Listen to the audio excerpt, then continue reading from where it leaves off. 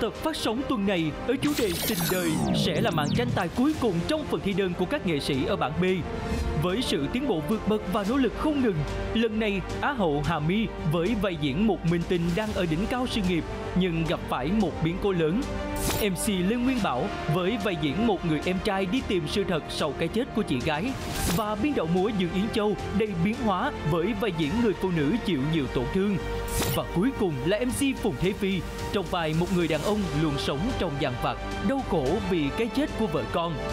Đầu sẽ là vai diễn đem đến sự đột phá trong diễn xuất cho cả bốn nghệ sĩ và kết quả cuối cùng, ai sẽ là đại diện duy nhất của bảng B bước vào đêm thi chung kết xếp hạng của đánh thức đam mê năm 2023. Kính mời quý khán giả đón xem câu trả lời sẽ có trong tập 16 của chương trình đánh thức đam mê, được phát sóng vào lúc 21 giờ tối thứ sáu, ngày 22 tháng 12 năm 2023 trên kênh truyền hình Vĩnh Long 1 và được phát lại vào lúc 13 giờ thứ bảy, ngày 23 tháng 12 năm 2023 trên kênh truyền hình Vĩnh Long lồng hay